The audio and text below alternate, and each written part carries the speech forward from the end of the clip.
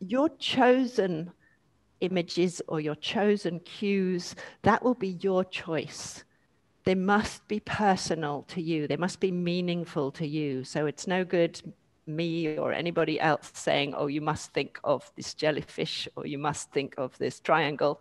It's got to mean something and resonate with you. Um, so that's that's a first thing but for the sake of our exercise i'm going to throw out a few possibilities that you might use so that we know what are external attentional foci. Is that fine? So this is just a little bit longer phrase. And i'm going to take super simple so i'm talking about the attentional focus. For a very slow port de bras you're going to gather energy. So that's uh, imaginary or real, depending on how you feel you're going to gather energy in. And we do that super slowly. And on seven, eight, I'm going to lift that up through the body. Yep. Now, the image I'd like to show us is five lines extending out. So we have very, very simple images for each of our actions.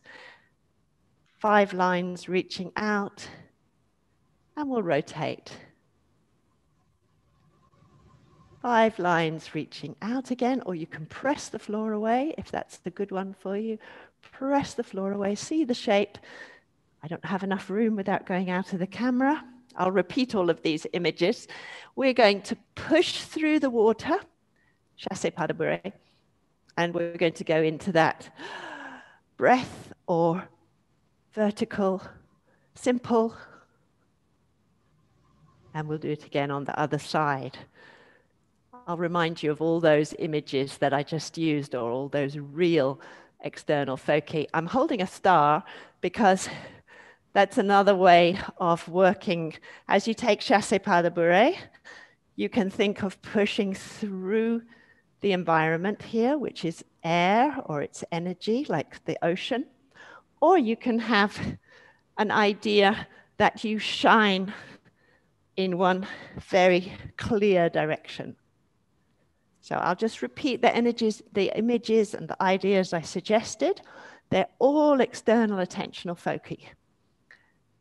We had gather energy, fill the arms, and draw it down through the body. Six. And I'm going to lift that all up.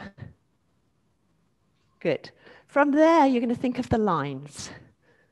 I've got a little fondu for us. So we extending lines, extending lines, and gather it in.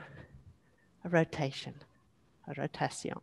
Again, extending out. This time you can push the floor, or you can think of the lines.